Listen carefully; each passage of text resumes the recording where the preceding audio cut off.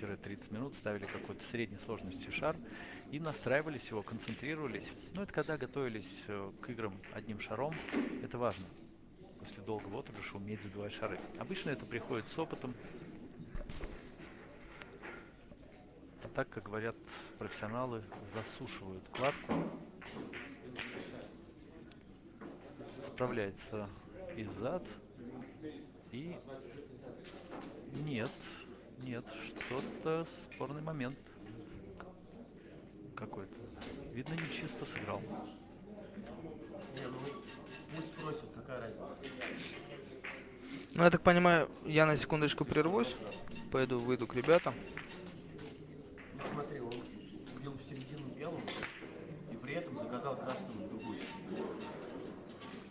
Он думал, что в случае Я думаю, того, что необходимо пересмотреть повтор. Возможно, со стороны Александра было видно, что а, задел кием шар. По идее, сами прав. Ну, с точки зрения спортивной. Давайте наберемся терпения и сейчас узнаем в чем. Или у кого есть повтор, посмотрите, напишите.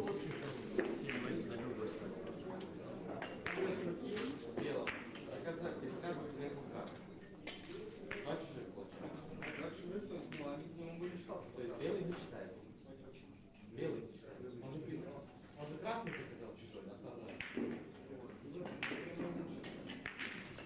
Он- заказал красный. Прямо идущий, он заказал красный. Зачем ты красный заказываешь, если ты идущий?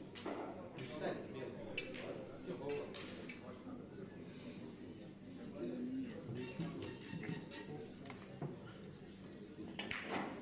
Вот в чате написали, кто такой Радбеков Изад. Многократный призер чемпионата мира, чемпион азиатских игр, восьмикратный чемпион Киргизской республики, мастер спорта международного класса. Вот в двух словах, кто такой Изад Радбеков. Ну, это для тех, кто слушает и не читает комментарии.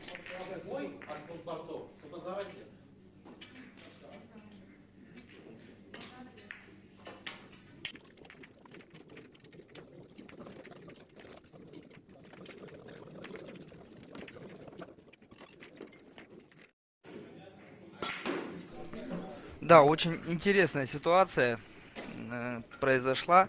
Смотрите, какая ситуация происходит сейчас на столе. Э, в игру э, с- игрок может заказать, получается, э, чужой и свой. Но он не может заказать, получается, несколько шаров, да, то есть это два чужих, к примеру. Какую ошибку допускает Изад? Он берет, получается, заказывает белого, в се- ой, заказывает красного в середину, а при этом бьет, получается, белого. В итоге, получается, он э, по факту заказал два чужих, то есть, что, ну, вернее, не заказал второго, ну, заказал совершенно другого чужого, то есть, а, а не тот, что забил.